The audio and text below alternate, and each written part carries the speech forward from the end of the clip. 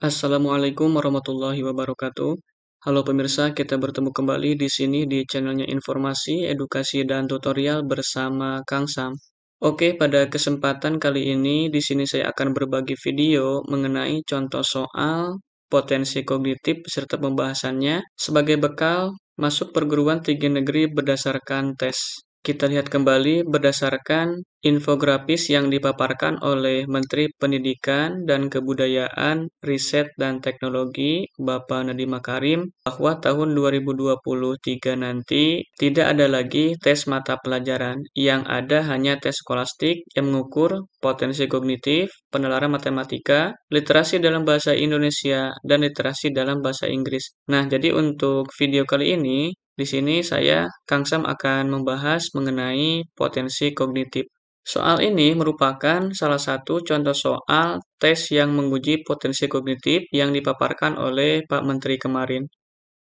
Soal dalam seleksi nasional berdasarkan tes menitik beratkan pada penalaran peserta didik, bukan pada hafalan. Ini merupakan contoh soal yang akan diteskan nanti, yakni merupakan soal potensi kognitif. Saya sudah menyelinnya ya ke dalam bentuk slide ini. Langsung saja kita baca soalnya dan kita sama-sama nanti selesaikan bagaimana cara penyelesaian so soal kognitif ini. Lima sekawan, Sano, Joko, Adi, Rimba, dan Ratu selalu berangkat bersama menuju sekolah. Joko selalu menjemput Sano setelah ia dijemput oleh Adi. Rimba menjadi anak terakhir yang dijemput. Sementara rumah Ratu terletak di antara rumah Joko dan rumah Adi. Berikut ini pernyataan yang benar adalah A. Rumah Ratu terletak paling jauh. B. Rumah Adi terletak paling jauh. C. Rumah Rimba terletak paling jauh. D. Rumah Sano terletak paling dekat. E. Rumah Adi terletak paling dekat. Kalau kita lihat, perhatikan soalnya, ini memang soal potensi kognitif ini benar-benar memerlukan penalaran kita untuk menyelesaikannya. Cara penyelesaiannya adalah kita baca secara seksama. Di sini ada lima sekawan, yakni Sano, Joko, Adi, Rimba, dan Ratu, yang berangkat sekolah selalu bersama. Kemudian keterangannya, Joko selalu menjemput Sano. Berarti kita tulis saja langsung di sini ya. Joko ini selalu menjemput Sano setelah ia dijemput oleh Adi. Berarti Adi duluan yang menjemput Joko, kemudian Sano. Kalau kita tuliskan seperti ini ya. Jadi eh, Joko itu menjemput Sano setelah Adi. Berarti Adi menjemput Joko, kemudian menjemput Sano. Kemudian keterangan lainnya adalah Rimba menjadi anak terakhir yang dijemput. Berarti di sini adalah setelah Adi menjemput Joko, kemudian menjemput Sano, dan terakhir menjemput Rimba. Nah, di mana posisi ratu? Keterangan terakhir di sini menerangkan bahwa sementara rumah ratu terletak di antara rumah Joko dan rumah Adi. Berarti di antara rumah Joko dan Adi. Di sini ya. Nah, ini letak ratu. Berarti urutannya adalah Adi menjemput ratu, kemudian menjemput Joko, kemudian menjemput Sano, dan terakhir adalah menjemput Rimba.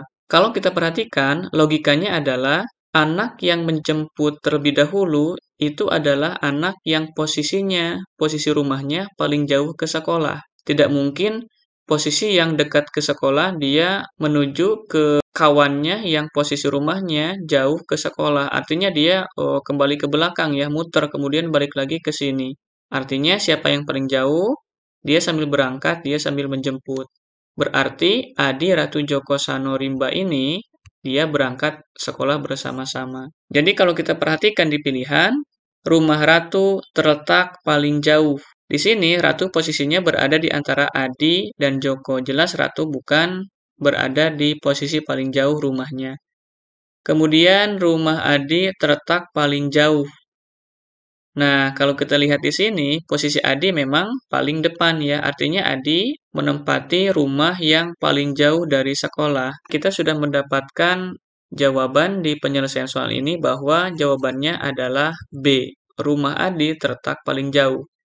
Kalau kita penasaran, kita tinggal cross-check saja yang bagian C ini. Rumah rimba terletak paling jauh. Jelas di sini salah ya. Sebaliknya di sini, rumah rimba terletak paling dekat dengan sekolah. Rumah Sano terletak paling dekat. Jelas Sano berada di antara Joko Rimba dan terakhir rumah Adi terletak paling dekat. Ini kebalikannya, justru Adi adalah yang paling jauh. Kurang lebih seperti inilah cara menyelesaikan soal potensi kognitif yang memang e, benar sekali di sini membutuhkan penalaran kita.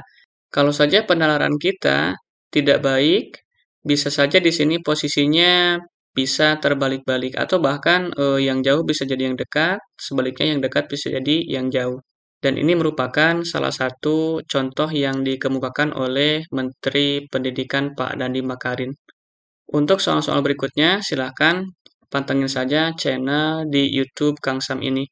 Mudah-mudahan ada manfaatnya dan memberikan sedikit e, gambaran bagaimana bentuk soal potensi kognitif.